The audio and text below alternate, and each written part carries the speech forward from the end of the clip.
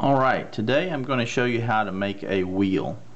Now the wheel can be made with a uh, uh, subunit uh, of a 6 ball, 9 ball, 12 ball, or 15 ball uh, tube. Uh, 9 ball I think is the easiest. So I'm going to start off with a 9 ball today and I'm going to add to this to make a tube. Again it's going to be offset.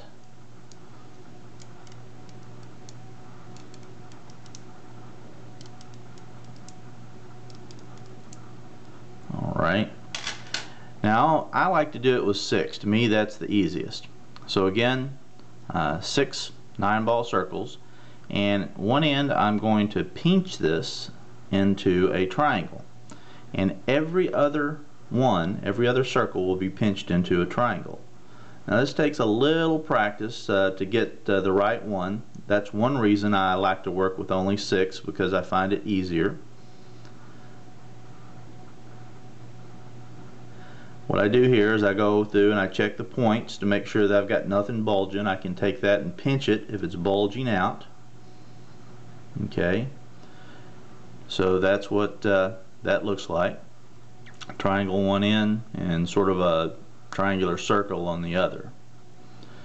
Then I take a flat surface and I stick it, and this takes a little practice, and I just tap it. And I'm going to tap it, and you notice it collapses.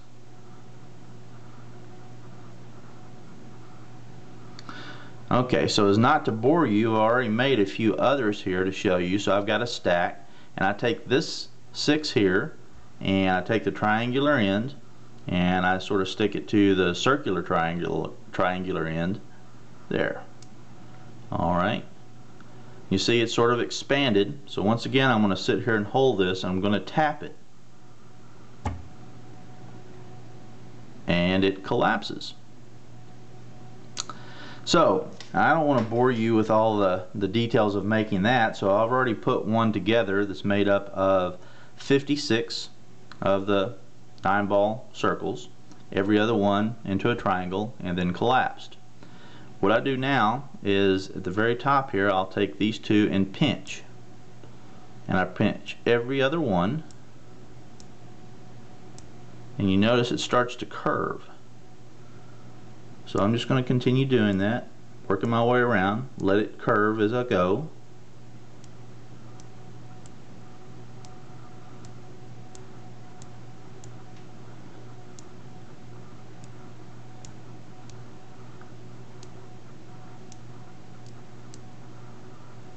This one kind of came down here and collapsed a little bit. You may have to go back and clean things up a little bit. You know, if you had some that uh, came back together you want to pinch those to make sure. And then what you're going to do is you're going to bring it around.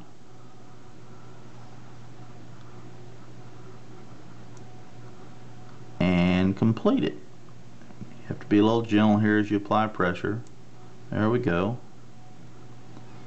And then you can clean it up a little bit. There are some that are bulging out there so you want to make sure you got a nice circle there.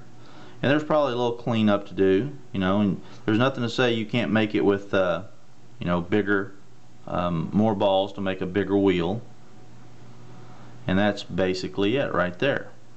Now the other thing you can do where I only did one side here you can do two adjacent. So I do these two rotate it around and do these two and what you get there is you start to get sort of a tire effect.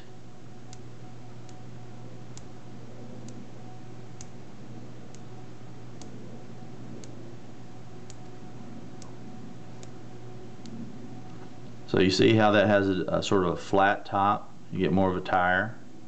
And again, notice if you want to put this back together, you just kind of take it and just wiggle it and apply a little pressure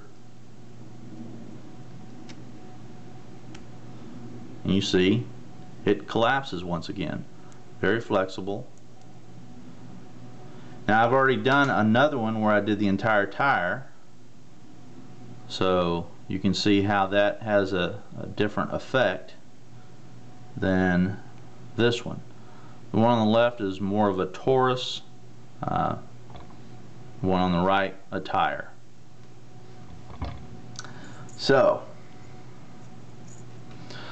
Superboy says he likes tires and wheels and hopefully you'll watch this video and I'll win the contest. Thanks a lot.